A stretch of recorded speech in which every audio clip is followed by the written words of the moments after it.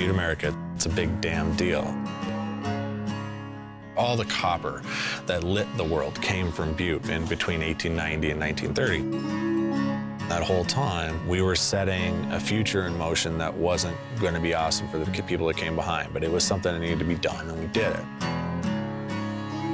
People who have heard of Butte, especially in Montana, there's sometimes a negative connotation.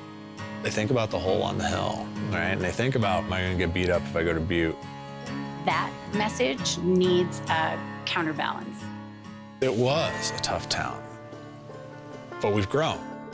And now we're telling this new story.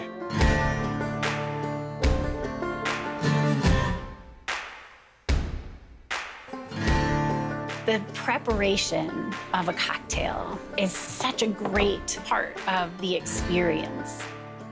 What's the right way to prep the citrus? Do you want it zested or do you want to muddle it? The ratio of the ingredients. Do you put ice in? Do you just leave it at room temperature? I mean, a cocktail is just context for an experience.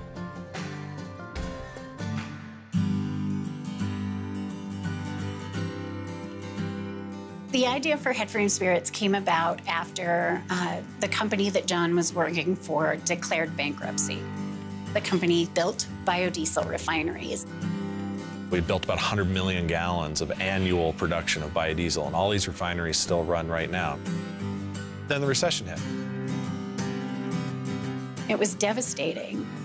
We weren't really interested in having him go to work for somebody else. And we weren't interested in leaving Butte, which doesn't leave a whole lot of options. And it was over, and that was the night I was home. I said, all right, well, what do I do? Almost challenging her, right? I said to him, well, John, you know how to distill things, and you love a good cocktail. I pretty much got out of bed that moment and started working on the marketing plan that turned into, you know, eventually all of this. He said, you know, we could call it headframe spirits. And if we do, you know, we kind of bring in that idea of both the, you know, the history of Butte, the kind of ghosts of Butte's past, plus the idea of cocktails and distilled spirits. And I think I actually like reached out and smacked him. I always lead with the nerd because that's what I am. To distill right, is to concentrate the essence of. If you make crap, you concentrate the essence of crap. But if you make something great and you concentrate the essence of something great, then you get to try that later on, and I get to share that with you later on. We sell a product that's based on Butte's history and culture, and that for us is this great opportunity to influence how people think about our community.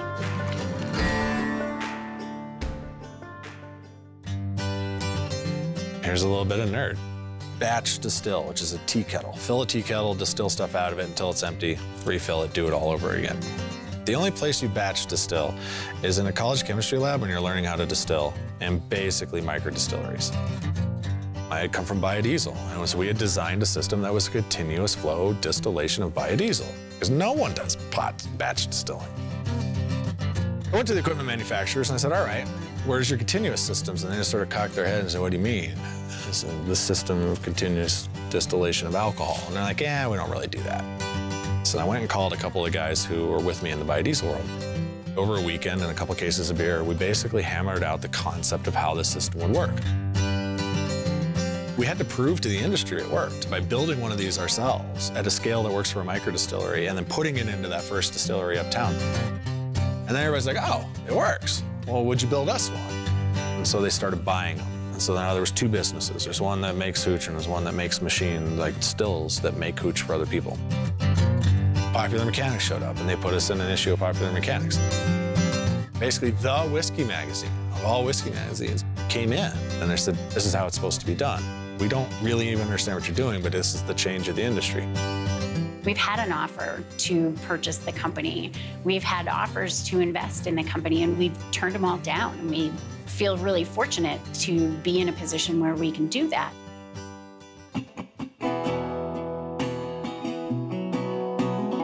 The last running headframe on the Butte Hill was called the Kelly, and it was the workhorse. Just this, this monster of a, of a head frame. Well, I started thinking about that, and the Kelly is this beautiful opportunity to build a very large distillery. 100 years ago, you had these guys and gals who showed up to this town and said, we ain't afraid of nothing, all you can do is say no. So they just drill down in the earth and they pull up ore and they power the world. After that sort of subsided and Butte went through its sort of, what are we now if not mining? And we're here saying, hey, here's a new possibility. I came from an industry where you called me up and I built you million gallon tanks. All of the malted grain that is used in, in America for the production of whiskey comes from Great Falls. Why are we shipping it to Kentucky? Why don't we just leave it right here and make a whole bunch of hooch right here? And so the Kelly is about that. Take everything that we've learned here and scale it up. Two people, no investors, taking on the adaptive reuse of a Superfund site into a large-scale production, manufacturing, and tourism destination. That's not something that exists anywhere. And that's something that we can make happen right here in Butte. Telling this story, I think it's like we say right now, Butte, America, it's a big damn deal.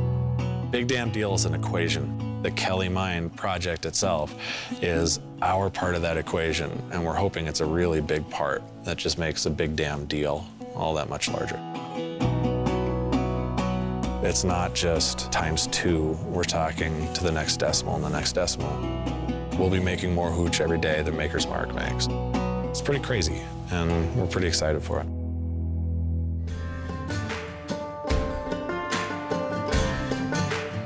So when you talk about spirits, what they really meant was that pour brandy in a snifter and you put it in your hand and let your body heat warm up that glass. Then you take that brandy and you bring it up to your face out of that snifter and that, that, that smell, that essence comes out, and that's sort of the spirit. What you smell when you put that whiskey up to your nose. If I can get that smell right, that spirit that comes off, that, that keys in and locks into those places in your brain, then also locks into some place in your heart. It sets off this, this, this waterfall of memory. And that's a spirit, and that's something that I think we're very proud to be able to give just to our customers and to the people who like us. And hopefully it's a memory they, I don't know, they enjoy.